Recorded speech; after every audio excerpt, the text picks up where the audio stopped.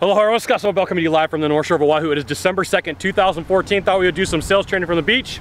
Talk about what it takes to be a good closer. So in this series, we're going to talk about the seven steps that it's going to take for you to close a process and and work with a client. Now, you know, the first thing I'm going to tell you is going to sound like, well, this doesn't really have anything to do with closing, but I'm going to tell you it has everything to do with closing. So the first step in this process is to be prepared and be on time. Be prepared and be on time. Because, you know, when you go through a sales process and you get there at 8 and it ends at 9.30, the, the closing doesn't start at 9.15, it doesn't start at 9.20. The closing starts the second that you wake up in the morning, the second that you're getting ready to go to that call and the mindset you have. Now, I'm not talking about a positive mental attitude, I'm talking about the mindset, okay? So that's gonna be the first step. You gotta show up prepared. There's nothing worse than somebody showing up to a presentation and let's say they call me like, Scott, we wanna give you a presentation. I'm like, all right, great. I got a lot of things to do, be here exactly at noon. Be here exactly at noon, okay?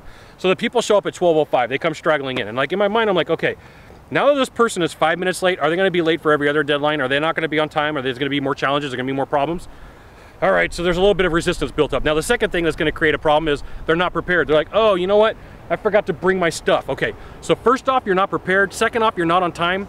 That's red flags for me. And the second at that point, I'm like, there's no even reason to even keep on going at this point. Let's just call it day. We're done.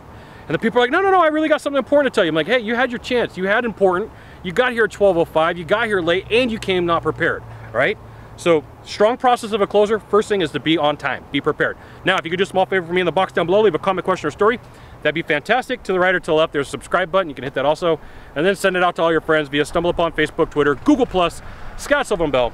only Scott Bell. Well, Sylvan Bell, we'll see you soon. Thanks for watching. Aloha.